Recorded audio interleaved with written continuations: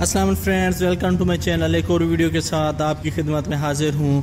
दोस्तों, आज की वीडियो में मैं आपके साथ पाक से 38 इसके ऊपर जो पेड चैनल हैं जियो इंटरटेनमेंट जियो सुपर और जियो मी वगैरह, इनको चलाने का तरीका आपके साथ शेयर करूँगा।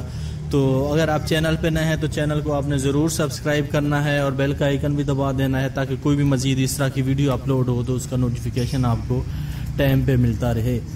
जी हाँ दोस्तों जिस आ, जैसा कि आप में से काफ़ी सारे दोस्त जानते होंगे पाक से 38 इसके ऊपर जियो इंटरटेनमेंट जियो सुपर और जियो कहानी जो है ये फारेवर सर्वर के ऊपर ही चलते हैं। और इसके अलावा हम टीवी जो है वो भी फारेवर सर्वर वाले रिसीवर के ऊपर चलता है।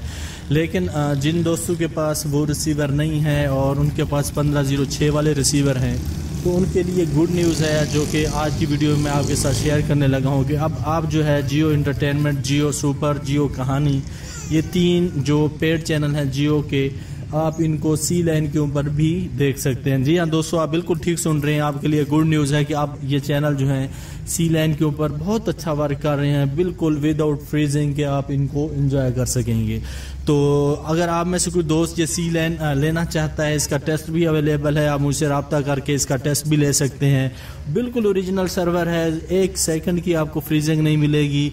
और इसी के साथ आपको कंबाइन लाइन मिलेगी, इसके ऊपर वीडियो कॉन के चैनल भी चलेंगे।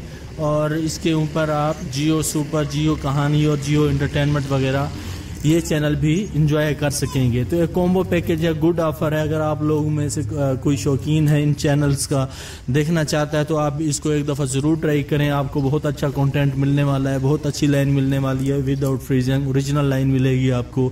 वीडियो कॉन और पार्क सेट का जो जियो नेटवर्क वाले चैनल हैं, ये आपको इसी लाइन के ऊपर देखने को मिलेंगे। तो उम्मीद करता हूँ कि आज की वीडियो आपको पसंद आएगी। अगर वीडियो पसंद आ जाए, लाइक, कमेंट एंड शेयर ज़रूर करना है। और जो दोस्त ये लाइन लेना चाहता है, वो मेरे व्हाट्सएप पर रबता करके मुझसे ये सी लाइन ले सकता है। तो मिलते हैं नेक्स्ट वीडियो में। तब तक अपना ढेर सारा ख्याल रखें। पाकिस्तान, जिंदाबाद।